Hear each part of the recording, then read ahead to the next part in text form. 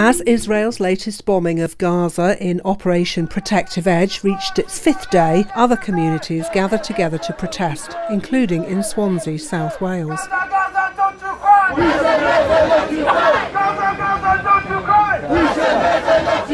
Basically, uh, a few days ago, Israel started bombing Gaza, which is not something new. They do it regularly. And unfortunately, they break so many laws, so many international human laws, and no one punishes Israel. A few days ago, the US said that um, Israel's just defending themselves. And unfortunately, BBC hasn't even stood with the Palestinians. They just they, they said that Israel's defending themselves.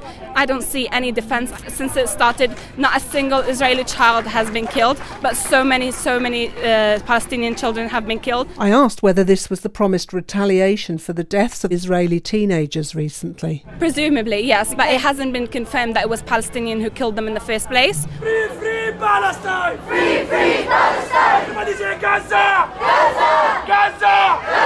And another young woman spoke of her upsetting experience as a Palestinian returning home. I've been born in Palestine. I've been raised half of my life in Palestine and then I moved here. I've been a couple times back. Last time I went with my family, but before that I went alone and they treated me on the plane and on in the airport like a terrorist.